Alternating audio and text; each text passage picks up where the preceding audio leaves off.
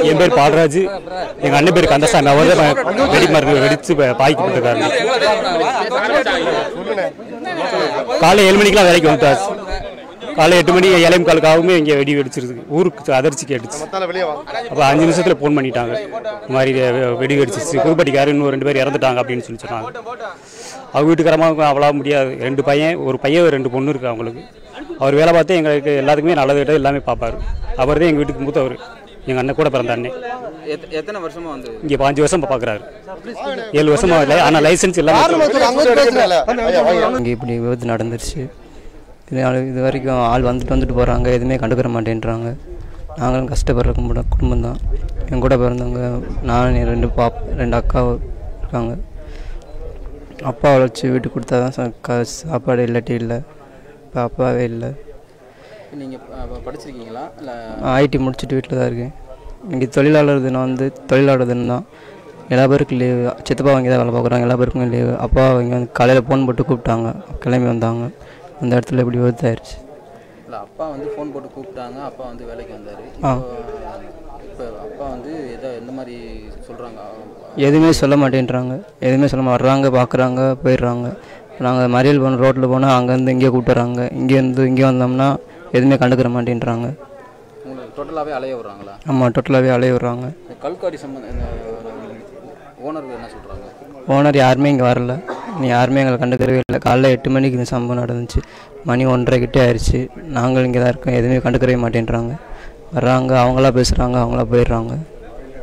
அப்பாவை காலையில பாத்தீங்க இப்போ ஒரு சம்பவம் நடந்திருக்குது. உங்களுக்கு மனசு ரொம்ப வேதனையாக தான் இருக்குது எங்கள் எனக்கு எங்களுக்கு எங்கள் எல்லாமே எங்கள் அப்பா தான்.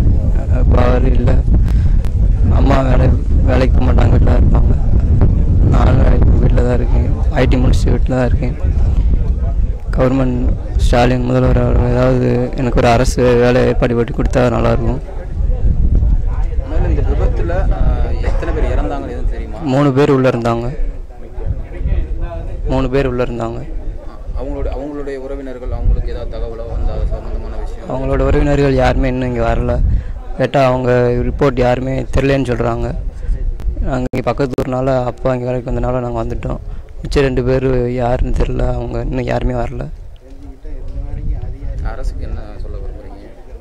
எனக்கு ஏதாவது ஒரு கவர்மெண்ட் வேலை ஏற்பாடு கொடுத்தா நல்லாயிருக்கும் விருதுநகர் மாவட்டம் காரியாபட்டி தாலுகா கடம்பகுளம் ஊராட்சி மன்றத்தை சேர்ந்த இந்த அதாவது கடம்பு ஊராட்சி உட்பட்ட இந்த கல்குவாரி வந்து இயங்குது. இந்த கல்குவாரியை வந்து சங்கரங்கோயில் அந்த பகுதியில் ஒருத்தவங்களும். இங்கே ஆவியூரில் சேது என்ற அவர்கள். கல்குவாரி துவங்கப்பட்டதிலிருந்து இந்த ட்ரில்லிங் மிஷின் வச்சு துணி வெளி வைக்கும் பொழுது ஆரம்பத்தில் இந்த கடம்பத்து கிராமத்தில் எதிர்த்து தெரிவித்தாங்க அதிக சத்தம் அதிக வெடிச்சத்தம் கேட்டு அவங்க ஆரம்பத்தில் வந்து கடம்புகுளம் புளிக்குண்டு கொடுமுடி மக்கள் ரொம்ப சிரமத்துள்ளானாங்க சரி அதுக்கப்புறம் வந்து மக்கள் குரல் வந்து அரசு இது யாரும் செவிசாய்க்கல தொடர்ந்துக்கிட்டே வந்தது. அதுக்கப்புறம் இடையில இங்கேருந்து மணல் மற்ற அந்த ஜல்லியில் அழட்டி போன வண்டியை வந்து வேகமாக போக வேகமாக வரப்போ வந்து ஒரு ரெண்டு மாதத்துக்கு முன்னாடி ஒரு பள்ளி குழந்தைய ஏற்றி அந்த குழந்தை வந்து மரம் ஏற்று ஊர் மக்கள்லாம் கலந்து வந்து போராட்டம் பண்ணாங்க. அப்போயே வந்து இதை அத்துவசியம் வச்சாங்க. ஆனால் அரசு அதிகாரம் வந்து இதை முறையாக ஆய்வு பண்ணி இதை முறையான செயல்படுதா என்னங்கிறத ஆய்வு பண்ணலை. இப்போ வந்து இன்றைக்கி வந்து மே ஒன்று தொழிலாளர் தினம். எல்லா தொழிலாளர்களும் வந்து இன்றைக்கி வந்து விடுமுறை தினத்தை வந்து வீட்டில் ஓய்வு பெறக்கூடிய நாள். இந்த நாள் வந்து இன்னைக்கு வந்து இந்த தொழிலாளர் இன்னைக்கு வந்து இன்னைக்கு வெடி விபத்து நடந்த இந்த வெடிமருந்து கிடவில் வந்து வெடி விபத்து. ஏற்கனவே இந்த வெ- வெப்பம் வெப்பம் வந்து அதிகரிச்சு வருது. இந்த சூழலையும் வந்து இதை பொருள் இதை வந்து ஒரு அதை பொருட்படுத்தாமல் இந்த மாதிரி இன்னைக்கு வேலைக்கு விடுமுறை விடாமல் பணியாளர்களை கட்டாய நியம நியமனம் பண்ணி வேலைக்கு வந்து வெடி விபத்து வந்து இதில் வந்து மூணு பேர் வந்திருக்காங்க. இதுக்கு வந்து இனிமேலாவது அரசு வந்து இது போன்ற கல்குவாரிகளை வந்து ஆய்வு செய்து முறைப்படி செயல்படுதாங்கிற ஒரு இது வச்சு பண்ணணும். இதில் உயிர் நீத்த மூன்று பேர் வந்து அவங்களுடைய யாருங்கிறது அவங்க ஏன்னா உடல் வந்து பூரா செதஞ்சு அங்கங்கே ஓடி இருக்கு யார் என்னங்கிறதே கண்டுபிடிக்க முடியாத அளவுக்கு இருக்கு. உறவினர்லாம் வந்து பாருங்கள் எல்லாரும் கத்தி கதறி அழுதுகிட்டு இருக்காங்க.